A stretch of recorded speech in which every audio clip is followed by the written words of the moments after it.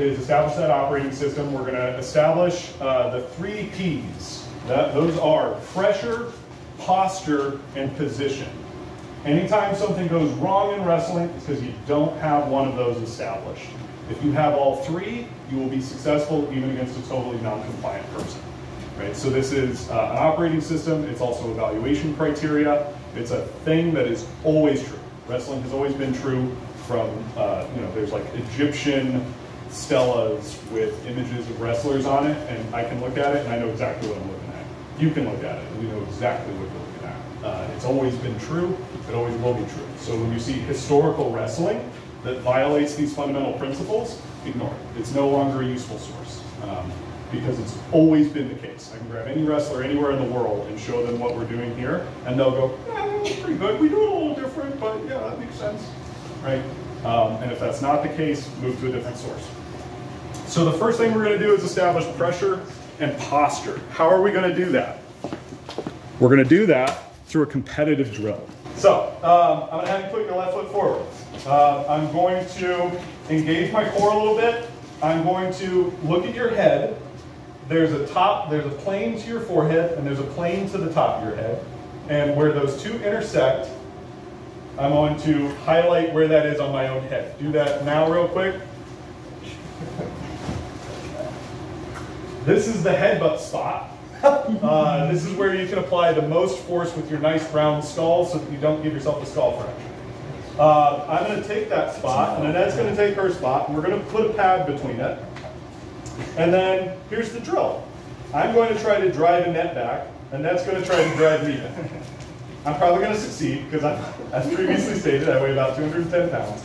Uh, but it's going to allow, start driving with me. What it's going to allow us to do is to start feeling out, driving, driving. Yeah. See, Annette can actually generate quite a bit of force when her posture is correct. Correct posture allows us to generate pressure.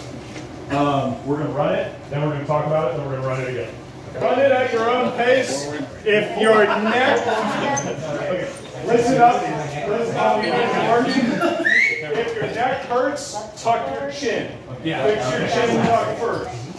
If your neck is hurting too much, ask your partner to stop, fix your posture, run it again. We're not trying to strain our neck here.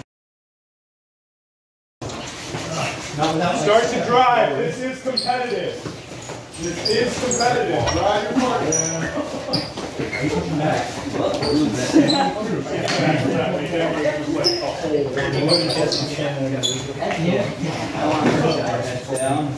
Oh yeah, no, no, no. It makes sense. It's just Yeah. and then they keep your head down. As soon as your head starts to go back a little, you have to push it back. Like don't be afraid to readjust. Find yourself like doing this. You gotta down a little more into your position. have your left foot go forward, and then all of that force is being. All right, look at me, look at me, let's talk about it.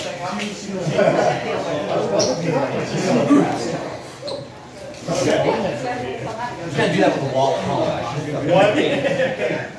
Related. Yeah, I, I like a door frame, so I can put my foot all the way through it. Um, you can make yourself one of these little pads. It's just EVA foam pad hot glued together. Do it on the door frame, it's great. All right, what worked? When were you able to drive people? When you got lower than there. Yep. When you got lower than that.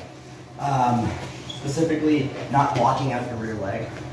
What has to, in order to be able to generate pressure, your rear leg cannot be locked against the ground, right? Right. So Toes, toes pointed forward, toes pointed forward. toes pointed forward, uh, that alignment. I like getting my rear heel off the ground. That's where I can get some thrust, right? And then if I'm being driven, I can put that down and stop it for a second, and then I can start driving again. What's the center of all this? What's the nerve center or the core piece of all of your body? Alignment. Alignment with what? Streamline from your spine all the way. Yes. For like your hips. hips.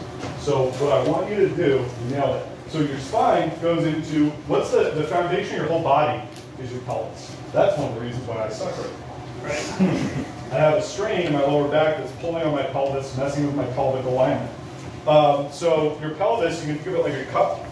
Um, things that matter, height, my pelvis relative to the other person's pelvis, right? If my pelvis is lower, I'm gonna be able to get up under them and drive them, right? Uh, the spinal relationship with the pelvis. If I let my structure collapse and my hips are too far forward and I don't have a nice straight line from where I'm applying pressure through my pelvis, through the ground, uh, it's, it's gonna hurt. It's gonna hurt your neck. It's gonna prevent you from being able to drive very successfully. Um, we talked about toes pointed at the other person. Those are, uh, the toe direction is actually an indicator of your pelvic alignment, right? It all runs back up to the pelvis. Is my pelvis aimed at the person? If I start to turn and my pelvis is no longer aimed at the person, is this a strong position to push from? Nope. And then the final thing is the, the, uh, the tilt, right? So relative height, am I aimed at the person? So the, the side to side alignment. And then am I tilted in or back? If I start pulling my, if I start tilting my pelvis backwards, can I drive? If I tilt it way too far forward, what happens to my head? It goes out the window. Your spine's My spine is going to start hurting. I'm not actually, it's, I'm relying on my neck muscles to hold this rather than just stacking forehead through spine through pelvis to ground. So now I want you to run this again. We're going to run for another couple of minutes, uh, and I want you to really focus on your pelvic alignment. Pelvis is the whole deal. If you're getting driven, check it out. Am I lined up? Am I higher or lower? Am I to the side? Fix your pelvis, and the rest of it's going to fall, fall into place. I was too high up, I could feel my neck going back, so I tried to drop it, drop it. It's fine. Pause, pause, good, pause.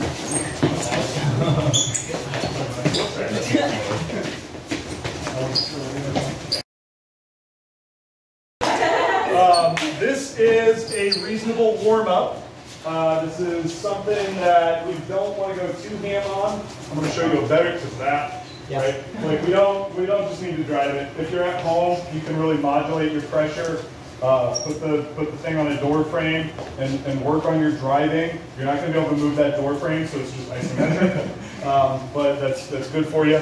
Uh, So now we're going to move on to the version of this drill that matters for wrestling by looking at, once you have pressure and posture, did, uh, oh, hold did everyone's posture improve? Yes. Were you able to feel the improvement? Yeah, especially with like the deep alignment. Yep.